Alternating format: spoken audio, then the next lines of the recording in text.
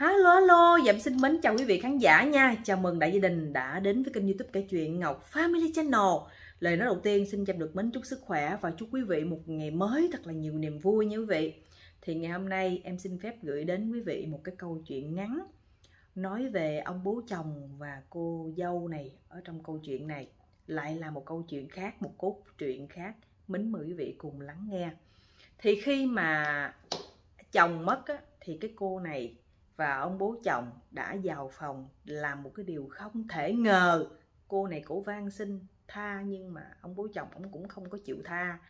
Cái kết ta nói lê lết luôn mến mời quý vị cùng lắng nghe. Thì à, khi mà cái cô gái này á cổ lấy chồng á thì cổ may mắn bởi vì cổ đẹp cho nên chồng cổ yêu thương cổ. Nhưng cái cuộc sống hôn nhân hai vợ chồng đang hạnh phúc như vậy đó thì bỗng nhiên là cái có một cái sóng gió nó ập đến. Thì lúc bấy giờ là ông chồng này ông bị bệnh à, coi là nan y ung thư thời kỳ cuối. Bác sĩ nói ông chỉ sống được có mấy tháng nữa thôi. Thì cô này cổ đau đớn và tuyệt vọng. Ước gì có một phép màu cứu cho chồng mình sống lại. Nhưng mà phép màu đã không xảy ra. Và anh chồng này anh đã mất vì căn bệnh ung thư thời kỳ cuối đó và khi mà chồng mất á, thì cô này á, cổ cũng làm đám tang cho chồng. Cổ khóc mặt mũi cổ sưng chù dù luôn mất ngủ hang mắt thăm quần thương nhớ chồng quý vị. Một người vợ rất là chung thủy.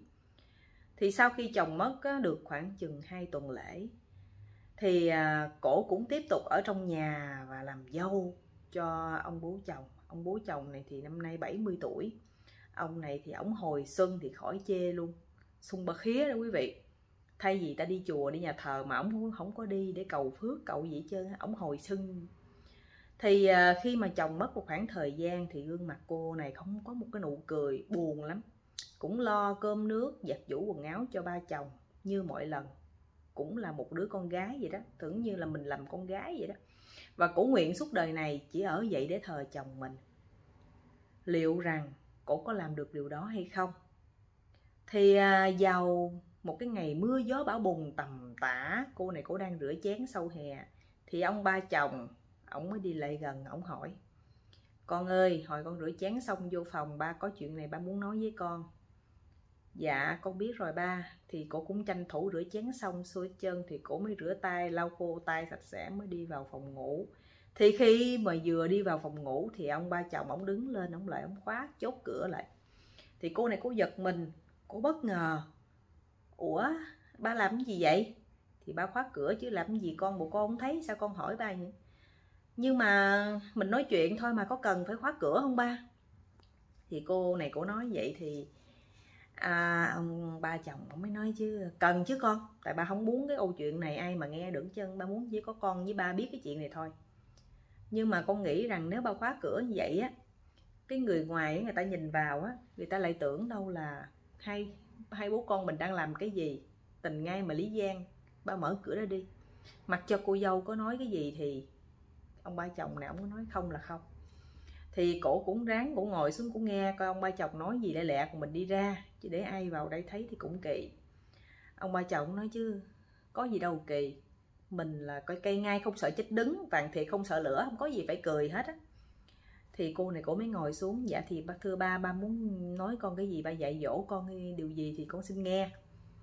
Cô này cổ rất là hiền mà à, cổ tội nghiệp lắm cổ thương chồng mà cổ mặt cổ buồn hiu à.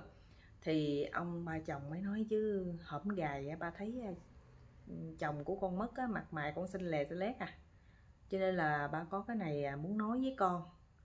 Là bây giờ từ đây sắp tới á ba muốn á con lắng cái lỗ tai con nghe ba nói nè ba muốn á, khi mà chồng con mất thì những gì chồng con không làm được cho con từ bây giờ tới 21 thì ba muốn làm cho con. Thì khi cô gái này cô nghe xong cô giật mình cô nói dạ cái chuyện đó hả ba? Xin lỗi ba không thể nào. Nếu như mà con mà có tái giá lấy chồng khác con không có phải là người con chọn không phải là ba đâu mà là một người xa lạ nào đó. Nhưng mà con thề suốt đời suốt kiếp này con chỉ ở vậy con thờ chồng con thôi. Nhưng ông ba chồng ông lại đáp rằng con ơi, biết là vậy rồi, nhưng mà ba nói con nghe. Ba chỉ muốn giúp con thôi. Trời ơi, ba mà làm một cái là con thích ngay con ghiền luôn. Hồi đó đó, má chồng của con lúc còn sống ha. Trời ơi bà đòi tao làm hoài luôn. Tao không làm bà la bà cọc cằn đó. Trời ơi, tao làm một cái là bà thích lắm luôn. Ngày nào cũng đòi làm hết trơn, tối nào cũng đòi làm. Để ba làm cho, yên tâm đi. Trên cả tuyệt vời cô này cô nói không là không nhưng mà mặc kệ cô dâu có van xin này nỉ thế nào thì ông bố chồng ông cũng không có chịu à, dừng lại và ông đã làm cho cô con dâu coi như là một trận hú hồn luôn. Cô con dâu này cô cũng nằm xuống mà nước mắt của cổ hai hàng nó tuôn tuôn ra gì trong cái sự bất lực không thể nào mà mà làm lợi đó. Ông già chứ ông già chứ mình cũng đâu làm lợi. Thì lúc đó đó cổ nghĩ trong lòng cổ là thôi chết rồi cái kỳ này mình chết rồi mặt mũi mình chắc không còn chỗ nào để nhìn ai nữa đâu.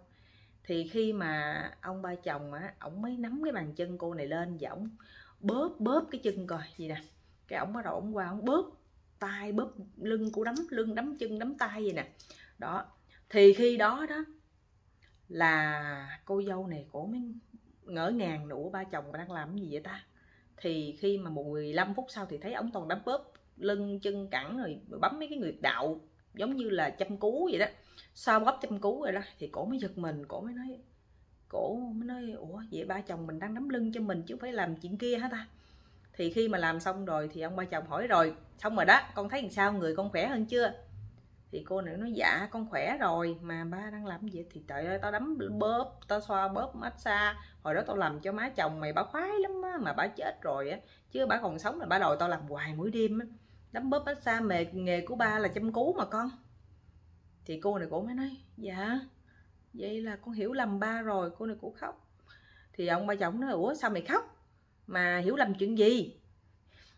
Vậy mà con tưởng ba rồi làm chuyện kia. Trời ơi, mày khùng hả? Nói thiệt á, gu của tao không phải là vậy đâu. Nói thiệt á, tao mà đồng ý lấy vợ hả? Ngoài kia cả cả khối người xếp hàng dài dài đó mày ơi. Con này đầu óc nghĩ tàu lao tàu lao mía lao. Đó thì đây là một cái câu chuyện. À, lúc đầu thì nó là một cái cảnh tượng người chồng mất. Thì ai mà chồng mất thì cũng buồn thôi nhưng mà chồng mất mà lại muốn thờ chồng. Đến suốt cuộc đời này không phải ai cũng làm được điều đó và cô gái này là một người phụ nữ đáng được tuyên dương. Nhưng mà bên cạnh đó một cái người đàn ông là ông bố chồng lại rất là thương con dâu thấy con dâu vất vả trong đám tang mặt mày hốc hác thì ông bố chồng đã quyết định một quyết định táo bạo. Nhưng mà cô con dâu này thì chưa có hiểu, tưởng đâu là ông đòi làm chuyện kia, ai già là ông chỉ đấm bóp massage để cho cô con dâu này thư giãn. Thì câu chuyện chỉ có vậy thôi quý vị. Cảm ơn quý vị à, vì đã lắng nghe những cái à, câu chuyện của em. Và em mến chúc quý vị nhiều sức khỏe. Xin chào và hẹn gặp lại quý vị trong những clip tiếp theo nhé xin chào.